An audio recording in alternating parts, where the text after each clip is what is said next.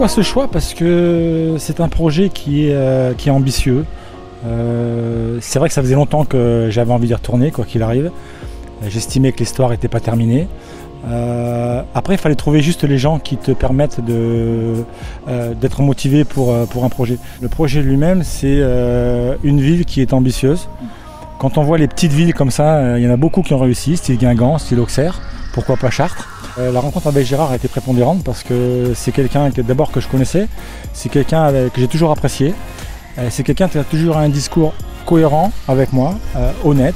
Donc euh, il n'y a pas de raison de ne pas faire l'effort de, de venir entraîner à Chartres. On a cette chance d'avoir quelqu'un qui, avant d'être le joueur, l'entraîneur, c'est au niveau humain, quel- quelqu'un d'exceptionnel. Il est très bien accompagné et je pense que sa force, c'est leur force et ils vont nous donner quelque chose pour le club, pour nos jeunes, parce que Jean-Pierre a un projet aussi euh, au niveau de- de- de- des jeunes et c'est sur ça qu'on recherchait.